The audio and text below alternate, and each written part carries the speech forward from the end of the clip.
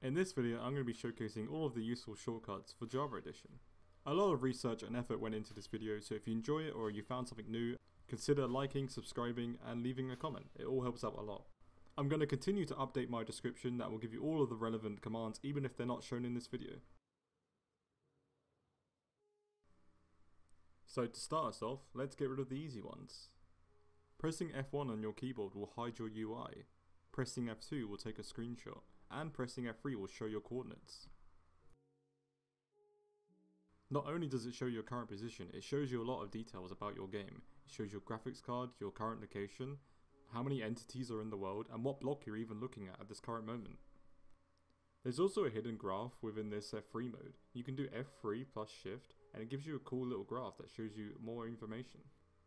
If you want to switch game mode, you don't have to type the command anymore. Using F3 and F4 at the same time will prompt this little menu, and from there you can switch to any game mode. I'm so grateful Mojang added this feature. If your rendering has messed up and chunks are buggy, you can hit F3 and A at the same time and it will refresh all your chunks. You can also use F3 and B to show hitboxes and you can also crash your game with F3 and C. If you want to try out this manual crash, you need to hold F3 plus C for at least 10 seconds. But on second thought, maybe I don't want to crash my game.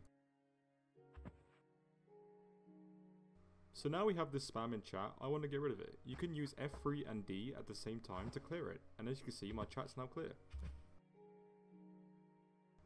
So this one's a little wordy, but to sum it up, you can basically have multiple toolbars under different hotkeys, and this is really good when you're in creative mode. All you need to do is once you have your toolbar set out, is you press C and whatever number from 1 to 9 to save it, and then to go back to it you press X and that same number. So in theory you can have 9 different toolbar setups and just go back to them with X1 to 9.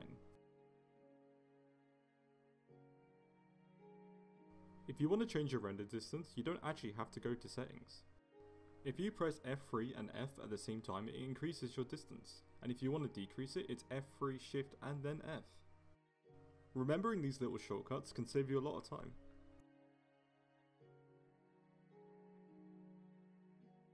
If you want to see where chunks end and start, you don't have to guess. If you use F3 and G at the same time, it will show you where the chunks start. Hitting F3 and then H will give you more information about items in your inventory. When hovering over an item, it will give you now more information.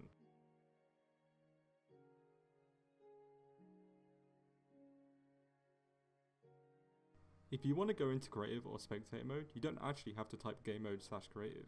You can actually just hit F3 plus N and it will toggle. Hitting F3 and then Alt will give you this cool little FPS graph.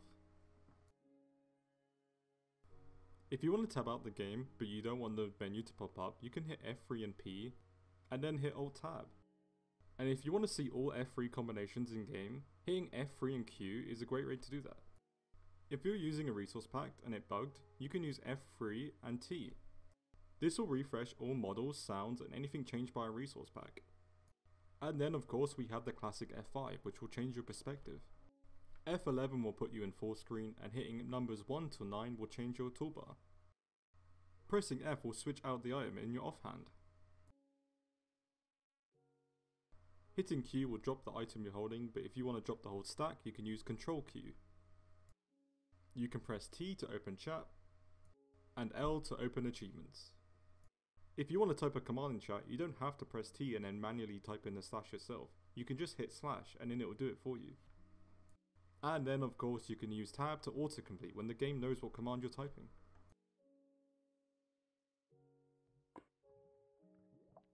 Holding left shift will put you in sneak mode, which means if you go up to a block, you won't fall off. In single player, you can use F3 escape to pause the game.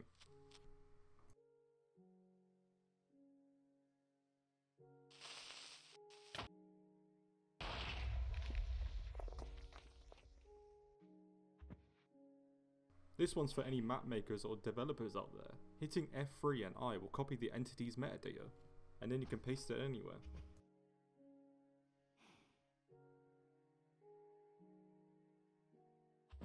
And that's it, those are the useful commands all working in 1.16.